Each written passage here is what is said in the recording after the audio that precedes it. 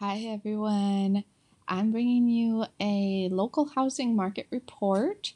I'm going to look at both the Pasadena market and the larger surrounding market um, cities around Pasadena together with you today. And let's go to our first slide here. This is showing Pasadena's market going all the way back to 2008.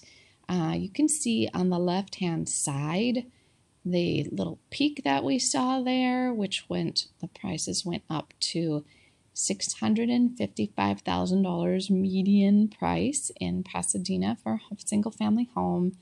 And you can see it fell pretty sharply between May of 2022 and February of 2009. The prices dropped 40%. So the bottom of the market was median prices were 400 thousand. And one of the interesting things this chart shows is you can see these little fluctuations pretty much every year. Prices go up and down.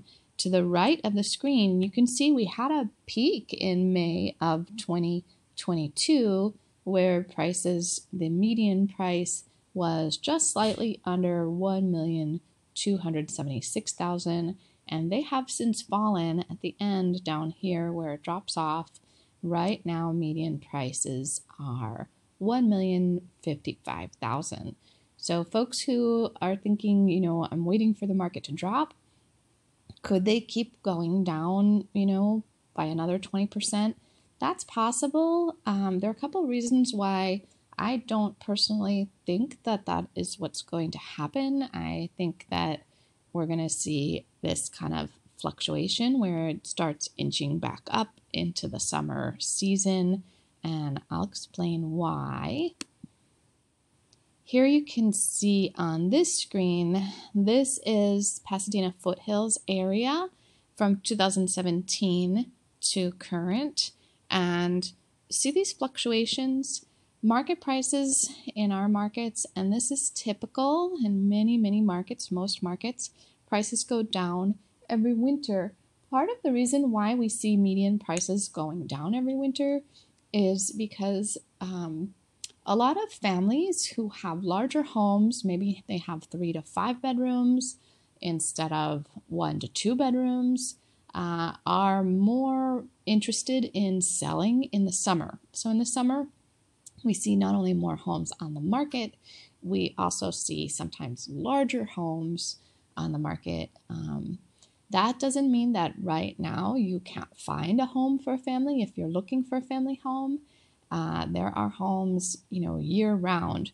It does usually seem like people who are moving in the winter are um, or selling in the winter are are motivated sellers. Maybe they have a relocation and they have to sell right now.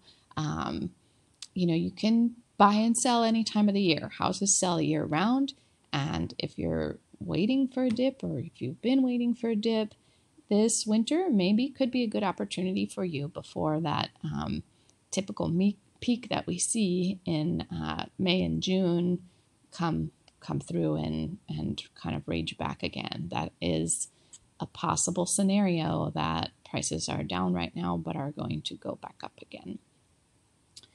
So let's take a look at here we have this is just more recent, uh, 2021 to current uh, through through the end of 2022. You can see that spike there. May of 2022 was a peak, and right now we are down in a dip. Um, will it keep going down? Will it start inching up? There is no crystal ball. My real advice to folks who are thinking about buying a home is really don't time the market because when you go back and you look at that first chart, what did we notice is over time home prices do go up. And if you're renting right now um, and you can get together enough money for a down payment, usually people have in their mind that they need 20%, but actually there's a lot of programs for first time home buyers you might be able to get a mortgage with 3.5%. Um, and there are also currently some new incentive programs from California where there can be some down payment assistance with some forgivable loans. So, definitely, if you have been thinking about getting into the market, the first step really is speaking with a lender. And I have lenders I can refer you to who can just have a phone conversation with you, talk about what your income is, what your credit card scores are, if you know them, or if you just know I have good credit, I have bad credit, whatever. Um, they can have conversations with you and they don't have to pull your credit. There's no cost. You don't have to fill out a bunch of paperwork. You can just have a simple phone call that can help you identify not only what budget house you can afford, you know, can you afford 500,000? Can you afford 750,000? Can you afford a million? Can you afford 1.5 million? You know, whatever is the number that you can afford, um, they can talk to you about that number and they can tell you look, if you buy a house right now at this current interest rate, this is around what your monthly payment is going to be. You can then compare that to what you pay right now in rent. Um, and keep in mind, being a homeowner, you have a lot of benefits. There's a lot of tax benefits. Not only are you building your net worth and putting equity into your own home every month instead of into your landlord's home, uh, you have some tax deductions you can take on mortgage interest. And you also have a much more stable housing situation. You know, even with rent control, there are still ways that landlords um, can you know, say that let's say they're they have a family member that wants to move into a home or something like that.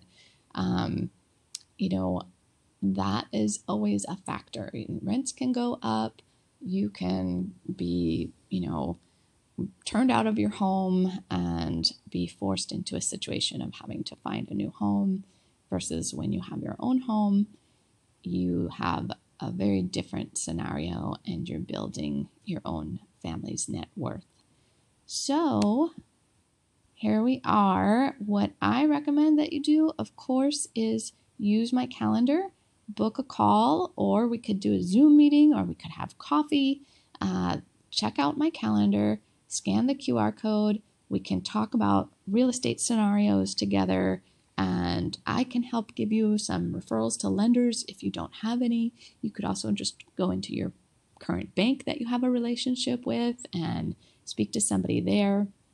There are a lot of ways to get onto the path of homeownership, and I am a huge advocate of taking a look at that. What does that look like for you? And how can I help you? What markets should we look at together? Have a good day. Thanks for checking out my video.